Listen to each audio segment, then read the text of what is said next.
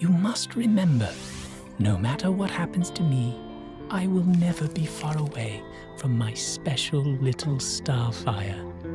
It always seems more quiet in the dark.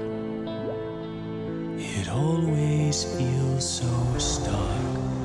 How silence grows under the moon.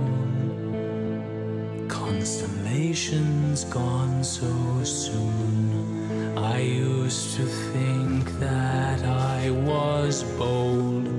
I used to think love would be fun. Now all my stories have been told, except for one.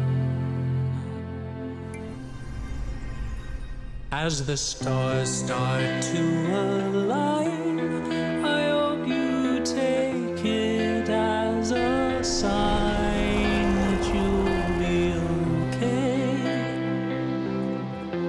everything will be okay.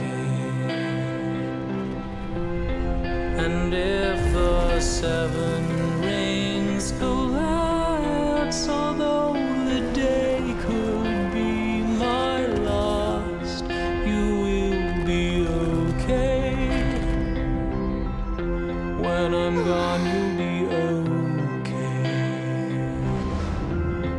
And when creation